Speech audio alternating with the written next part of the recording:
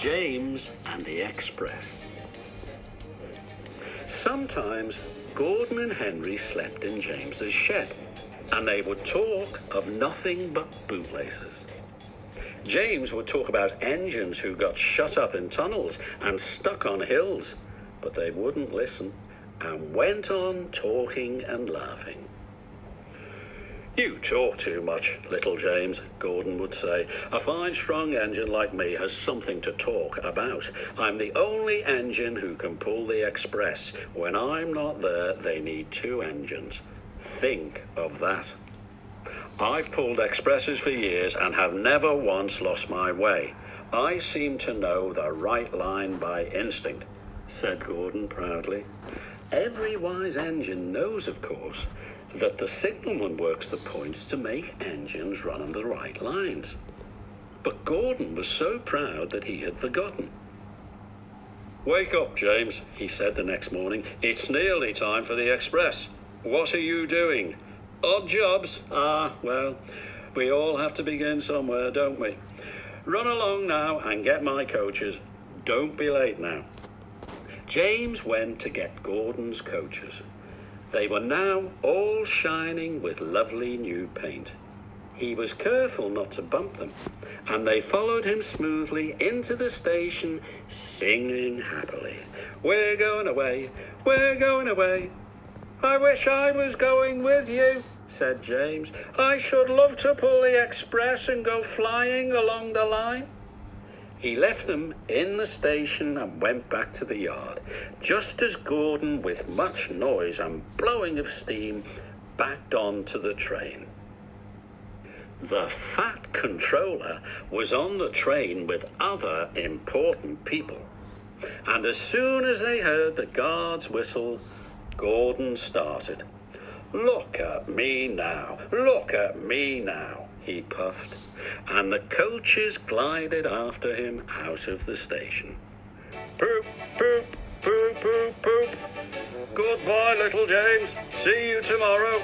James watched the train disappear round a curve and then went back to work. He pushed some trucks into their proper sidings and went to fetch the coaches for another train.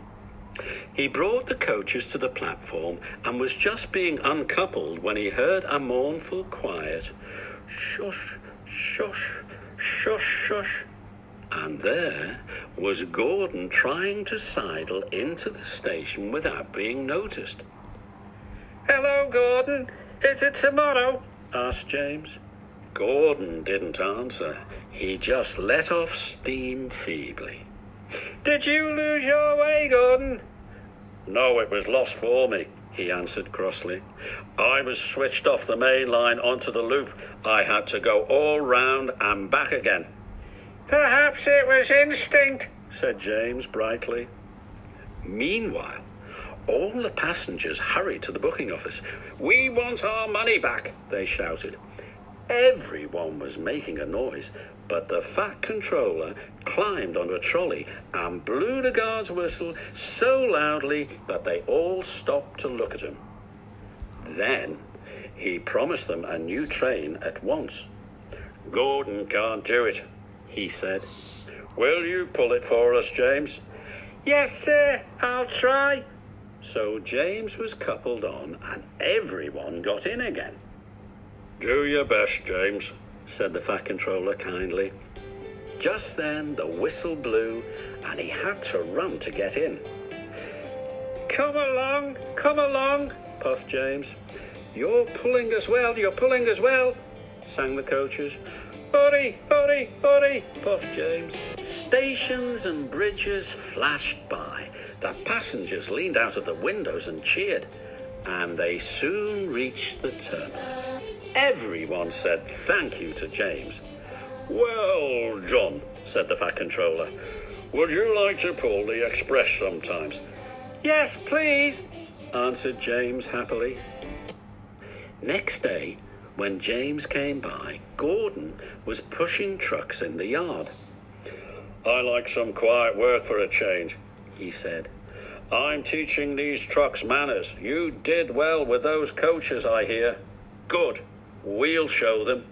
and he gave his trucks a bump, making them cry, Oh, oh, oh, oh. James and Gordon are now good friends. James sometimes takes the express to give Gordon a rest. Gordon never talks about bootlaces, and they are both quite agreed on the subject of trucks.